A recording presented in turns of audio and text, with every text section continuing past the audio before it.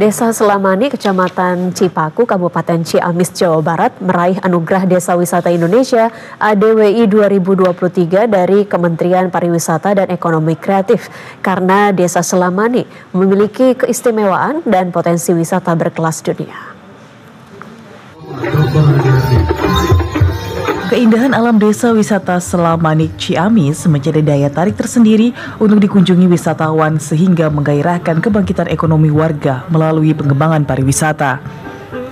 Menparekraf Sandiaga Uno mengatakan Kemenparekraf menggalangkan program tersebut dengan visi Indonesia sebagai negara yang bertujuan pariwisata yang berdaya saing global agar mampu mendorong pembangunan daerah dan kesejahteraan rakyat.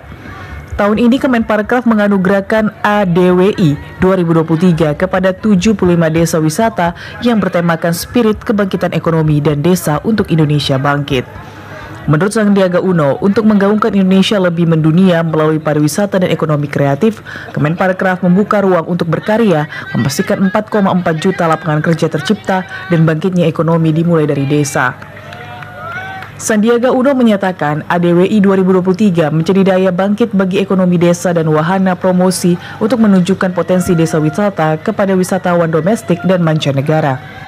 Kita melihat tadi salah satu yang paling spesial dari desa wisata Selamanik adalah kemampuan dari masyarakatnya untuk uh, bertani dalam konsep yang sangat produktif yang dikemas dengan eh, paket-paket uh, wisata dan ini adalah bagian daripada terciptanya eh, harga-harga uh, yang lebih terjangkau. Tadi kita lihat bawang merah yang lagi naik harganya.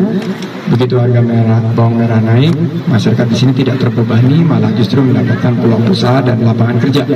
Kategori penilaian Anugerah Desa Wisata Indonesia ADWI meliputi daya tarik pengunjung, homestay, souvenir, digital kreatif, dan kelembagaan desa.